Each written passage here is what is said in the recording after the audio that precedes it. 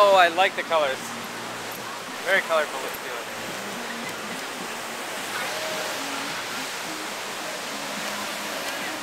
We have some Itzy writing here. Let's go for the star.